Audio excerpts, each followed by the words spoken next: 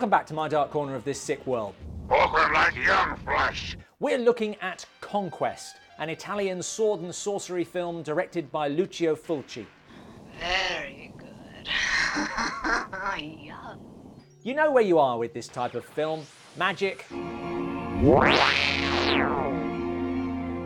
monsters,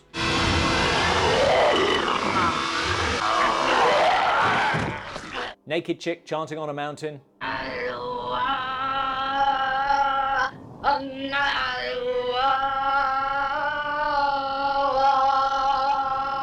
Good guy, bad guy, heroic quest, we all go home. Hurry up and leave.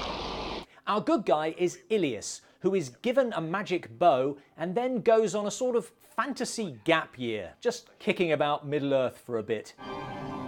Fare thee well.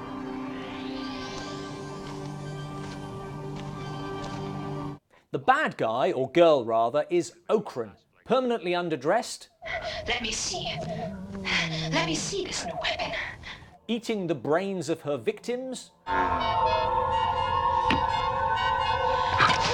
commanding a legion of dog faced minions who sound like an angry Scooby Doo.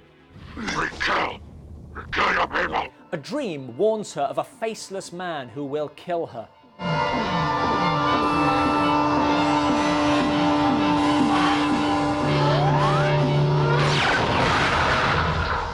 At least shoot an overripe tomato into her chest. And she sends out her army to kill Ilias. Get him. I want him and his weapon. Go. He is saved by a stranger wielding that most indomitable of weapons, the tether ball.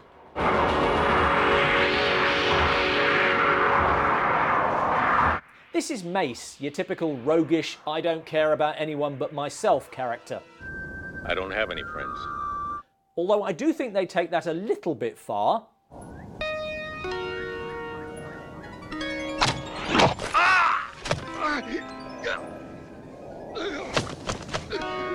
When he kills a random old man to steal his lunch. Food. What did the old man do? I'm on the animal side. Um, Isn't this an animal you're eating? I didn't kill him. an attitude he sticks with.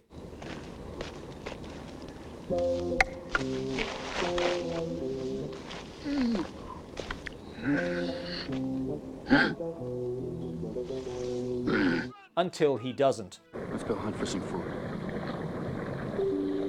Anyway, Mace takes Ilias back to meet the family, and Ilias gets a love interest.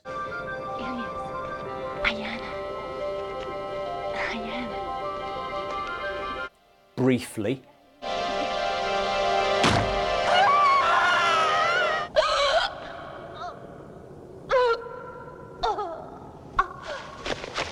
The family are killed, Ilias is captured, and we learn a bit more about Ocron. Ocron, rule the sun and make night and day. That's not true. Don't debate religion with the people tying you to a stake. That sort of thing has a really bad history. Anyway, the dogmen don't believe in guards, so Mace just rescues Ilias. Quiet. We don't want to wake them.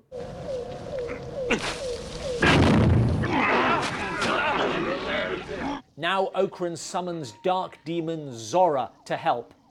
Only you can save me. Rise up, Zora, Rise. Could you not have found a less friendly looking dog? Why have you called me, Ocron? Zora pledges to kill Ilias. I shall make him suffer a thousand deaths. One will be enough. That's where these plans always go wrong. Ilias sets out to revenge himself, the death of Mace's family giving him a direction that he previously lacked. Innocent men, women, and children were slaughtered. While Mace has a more pragmatic approach. Everybody dies sooner or later. But as they travel, birds are flying towards the water. What does it mean? Yeah, it means they're ducks. Ilias! Ilias is hit by a poisoned dart, so back they go to find a cure. Mace braving swamp monsters.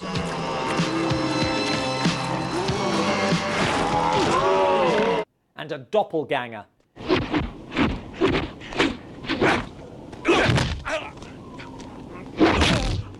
The experience sends Ilias homeward, I'm running away, let's be honest. but partway there he has a change of heart. You have already chosen your path, my son. The path of courage and sacrifice. No matter what happens, I shall not forget these words. and is just in time to save Mace from the squeaking spiderweb mummies.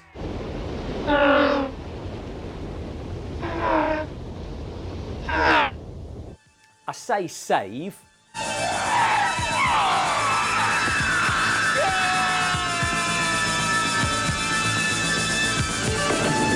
Actually saved by dolphins. Which I didn't feel was adequately explained. Anyway, That's something to settle with Ocron. Are you sure this time? Because we've walked there once already. Let's go then. But Zora hasn't given up.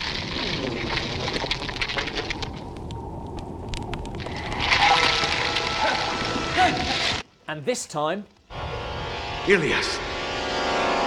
I'll be honest, that surprised me. Zora, the great slayer of souls. However, no, no. Zora, you have slayed his body, but not his soul. I cut off his head. What more do you want? Possessed by the spirit of Ilias, Mace continues on the quest. Nags, I dwell in your spirit. And now the magic bow is his.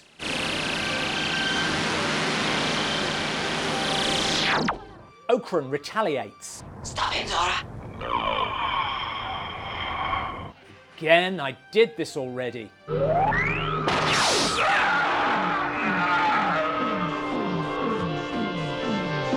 At the start, Ilias isn't here to kill Ocron. Her dream leads her to go after him, which in turn leads to her death. And I like that appointment in Samara irony. However, faceless or not, that's Ilias, but it's Mace who kills her, so the dream is wrong. And even if Mace has Ilias's spirit inside him, I still feel that weakens the premise. It's not good. Although that's not saying much. Conquest delivers on monsters and fights. But there's not enough story to fill Ocron's spiky panties. Go away. Go away. Thanks for watching. To see the uncut version of this review, join us as a Patreon acolyte. Ilias's death did take me by surprise. What movie deaths have caught you off guard? Let us know in the comments below.